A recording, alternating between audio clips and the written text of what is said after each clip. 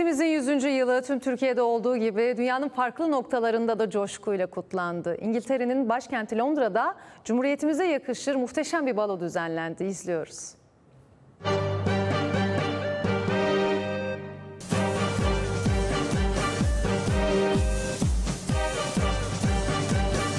Cumhuriyet coşkusu 100. yıl gururu sınırları aştı. En büyük bayram İngiltere'nin başkenti Londra'da muhteşem bir baloyla kutlandı. Türkiye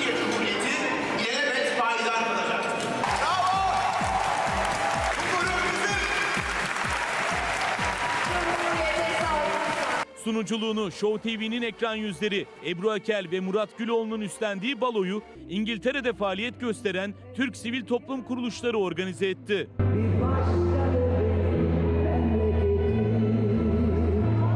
İş insanlarının, sanatçıların davetli olduğu baloya Londra Doğal Tarihi Müzesi ev sahipliği yaptı. Müze bu anlamlı gece için özel olarak süslendi. Saygı duruşu ve İstiklal Marşı'nın ardından açılış konuşmasını Türkiye'nin Londra Büyükelçisi Osman Koray Ertaş yaptı. Buradan şahane görünüyorsunuz arkadaşlar. Cumhuriyetimiz kutlu olsun. Baloda 100 öğrenciye burs sağlanması için ünlü futbolcu ve voleybolcuların imzalarının bulunduğu formalar açık arttırmayla satıldı. Arkadaki bayrak